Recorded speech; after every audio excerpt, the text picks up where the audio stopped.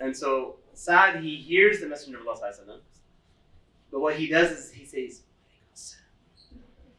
he whispers the, the, the return salam so that the Prophet himself doesn't hear it. So what's the adab? If you, if, if, you, if, you, if you ask outside someone's home, you knock on the door, how many times are you supposed to do that before you leave? Three times, right? So the Prophet he again says, Assalamu alaikum wa barakatuh. Uh, and then um, all three times, Saad, whispers a response. Walaikum assalam wa rahmatullahi wa barakatuh. Very quietly. So the Prophet can't hear. So after the third time, what happens? Prophet he turns around to leave. And after he turns around to leave, Saad gets up and he runs after the Prophet and he says, Bi abi ummi ya Rasulullah. May my mother and father be sacrificed for you, O Messenger of Allah. You did not say salam to me except that I returned the salam. It was in my ear, I heard it, and I returned it, but I didn't want you to hear it. Why? So I can have three times the salam on the Prophet upon me. And so it's very interesting when you see the love of the companions of the Prophet. And for the Prophet, imagine it's like, come on, bro, like, right? That could be a reaction, like, I'm a busy man, you know what I'm saying? Like, why are you wasting my time? But he, that wasn't his reaction. He, he went with he went with him inside, and um, that's when we learned we learn um, uh, a beautiful hadith from the Prophet where he says when he ate with him, you know the famous dua. أكل طعامكم الأبرار وصلت عليكم الملائكة وأفطر عندكم الصائمون that you say when you eat at someone's house. Um, so I wanted to share a story with you uh, about uh, just a glimpse into the life of the companions with the Prophet ﷺ. Uh, the companion's name is Al-Miqdad. Al-Miqdad was from Ahl al-Sufa. We mentioned Ahl al-Sufa yesterday briefly on the tour, I think. Ahl al-Sufa is the, the poor companions who stayed behind in the back of the masjid, which was originally the front of the masjid because the face the Qibla was to Aqsa. And the, the, they had a roof that was um, date palm branches over them, but no walls on the side. So it's like an area where they would stay. And the, the scholars estimate around the permanent residents of Ahl Sufa were between 70 and 100 permanent residents there. And then every now and then you would have people like delegations would come and stay there and whatnot. Um, so Al Miqdad, he says, one time I came with two of my companions to the Messenger of Allah. And he says that we had lost our ability to, uh, ability to see and hear out of severity of hunger that we were in. We were in so much hunger that we couldn't see or hear. And so he says, we presented ourselves to the companions, to the Prophet and the companions, and, and no one, to the companions, and no one had anything to provide for us. Like presented me, we were hungry. And so, and the reason why it was because everyone was in a similar situation. There's very few people who were very well off. Um, and so they went to the Prophet. And so Prophet said, Come with me. And they went to the they went to his house and they found that there were three, and Prophet didn't know this, there were three sheep there. And so he says, We will take milk and we will share, we'll put it in a, in a, in a bowl, and the four of us will share the milk that produces every single day. And so the three companions would drink their share of the milk, and the Prophet ﷺ would come at night and he would drink his share at the end. And so that was their, their method of practice until one day Al Miqdad is sitting there, and this is their meal for the day. You know, a, a portion of a, a bowl of milk. That's their meal for the day. And so he says, I began, I drank my portion, and then I began to think that the Prophet ﷺ he, he's going around to the house of the Ansar, the homes of the Ansar. And they are serving, they're hosting him. So they're going to serve him something. So he, he doesn't really need this last portion of milk. And so that day he said, he says, Shaitan came to me and said, Why don't you drink the portion of, of the Prophet? Because of this, he's, he's getting this food anywhere, other, other places. So he said he drank it. And he says, as soon as the milk, it wasn't like in his, you know, when you feel the cold going down your chest? like it wasn't there yet. He said, once it like settled in my stomach, حتى واغلت في بطني, he says, ندمني الشيطان. Shaitan made me regret what I did. And he says, ويحك ما فعلت ما صنعت What did you do? You drank the portion of the Prophet ﷺ, he's going to come and he's going to make dua against you and your dunya and your akhirah is destroyed. And so he says, I lie down to sleep. This is at night. And he, his, his blanket, which was his clothing, his, his, his, his, his, his cloth that he would wear, if he covered his feet, his, his head would be uncovered. And if he covered his head, his feet would be uncovered.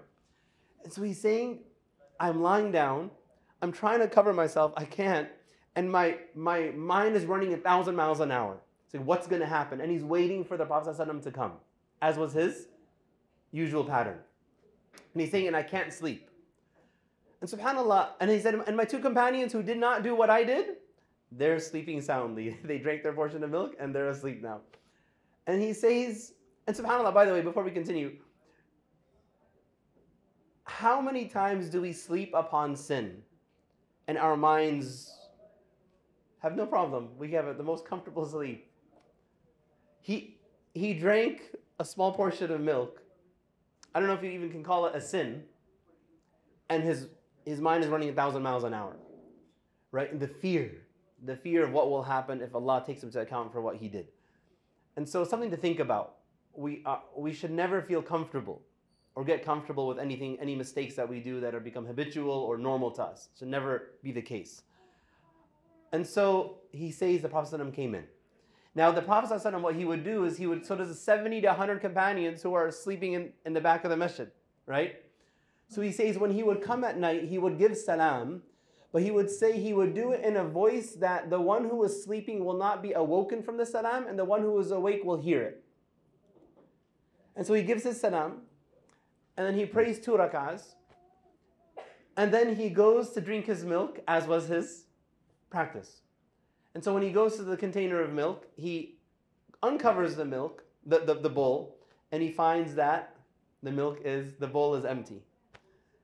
And so then he looks up to the sky and he raises his hands. Now Miqdad is watching all of this. And he's saying, now he's going to make dua against me and I am destroyed. Right? His, his, he's watching all of this. Prophet doesn't know he's awake. And the Prophet he makes dua and he says, Allahumma at'im man at'amani wasqi man saqani. Oh Allah, feed the one who feeds me and give drink to the one who gives me drink. So Miqdad hears this and he jumps up. And the cloth that he was trying to hide under, he wraps it around his waist and he grabs his knife and he goes straight to where the three sheep that were at the house of the Prophet. And he says, I am going to be the one who's in the receiving end of this dua. If I can slaughter one of these sheep and give it to the Prophet, I will be the one who Allah will feed because I fed the Prophet and be given drink because I gave drink to the Prophet. And so he jumps up and he goes to the, the, the sheep and he says, and subhanAllah, after it had already been milked, he finds that he finds that it all of all three of them, subhanAllah, their udders are full again.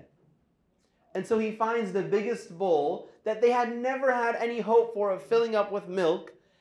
And he goes in there and he fills it till the top, until the froth of the milk is on the top of the bowl. And then he comes to the Prophet and he presents to him the bowl of milk. And the Prophet ﷺ sees this, right? So, so the pattern is he comes and there's only a fourth of the milk left and he drinks. And now he comes and it's empty. And then Miqdad comes with, with the, the, the milk and it's a, a full bowl. And so the Prophet says, أَشْرِبْتَ شَرَابَكُمُ اللَّيْلَ Have you drank your portion tonight? So what is Miqdad going to say? He doesn't answer the question. He says, Ya Rasulullah, ashrab. Oh Messenger of Allah, just drink. So the Messenger of Allah begins to drink. And then he gives the bowl, just as they're normal. You share, you share the portion. He gives the bowl to Miqdad. Miqdad again says, Ya Rasulullah, ashrab. And he gives him a second time. And then a third time until he says, Until I felt comfortable. The Prophet completely satisfied his hunger and thirst. And then he says, that, that's when it dawned upon him that I got the dua of the Messenger of Allah. And so he says, I began laughing so hard, uncontrollably, that I fell on the ground laughing. And the Messenger of Allah is watching him. And he's just like, like this, tell me what's going on here. There's, there's, there's, there's a story behind this. And so Miqdad tells him everything that happened. He says, oh, the whole thing. And so the Prophet he tells him that, subhanAllah, he says, why don't we wake up our two companions and share with them the blessing that we just had? And Miqdad says, oh Messenger of Allah, if you drink and I've drank, I don't care who else after that, whoever drinks, it's okay. Um, and so they did that, the companions drank from it. So subhanAllah, I just wanted to share the story to, to mention a few things. One, to give you a glimpse into the relationship with the companions and the Prophet and the, the, the, the, the, the, lifestyle that many of them, the majority of them lived. When he says in the beginning of the narration that I presented myself to the companions and no one would accept me. It's because of hunger. Abu Huraira, you know, we're talking about the Rawda. Abu Huraira would say that I would be between the mimbar of the Messenger of Allah and the hujurat of the Messenger of Allah. And he says, I would fall down unconscious from how severely hungry I was until people would come and they would put their foot on my neck to check if I'm alive, to check if I'm conscious, to check if I'm if I've, I've gone a little crazy or not. And he says, "Mami bin junun, ma bi illa al It wasn't that I was crazy. It wasn't that I was, is that I was starving. That's how severe my situation was. And so the companions lived that life, and subhanAllah, despite that, you find the stories of generosity that we hear all the time, like we talked about yesterday during the walking tour, and the, and the level of sacrifice and love that they had for the Prophet of Allah. And to get anything that they can from the dua of the Messenger of Allah, the eagerness of Sa'ad ibn Ubadah to make the Prophet say salam three times, and the eagerness of, of Miqdad that once the Prophet made that dua, I want to be the one receiving that dua. And so when we know the Messenger of Allah says, and these are just some basic quick things to wrap up inshallah, that after the adhan, if you say the dua, Allahumma rabba hadi da'wati tamma wa al-qa'ima, I will intercede for you on the day of judgment. If we know that the Prophet says that he will be waiting for, the, for us, his brothers, when he sits with the companions and he says, I wish I could see my brothers. And they said, Aren't we your brothers, O Messenger of Allah? I said, No, you're my companions. My brothers come after me. They believe in me, but they haven't seen me. And he says, And I will be waiting for them at the hawd of the Messenger of Allah on the day of judgment.